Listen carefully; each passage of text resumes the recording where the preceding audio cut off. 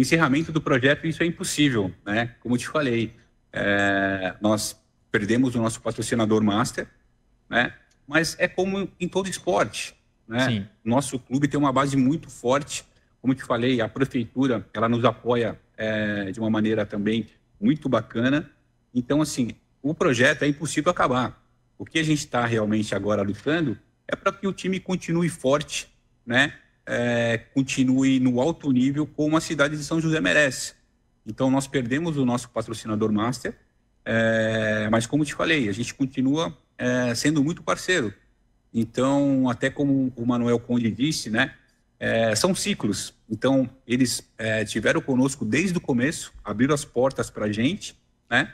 É, né a, o grupo ele tem outros investimentos, então, a gente segue como parceiro dentro da arena, mas uh, o que eu posso te falar novamente é que é, é zero a possibilidade do time acabar.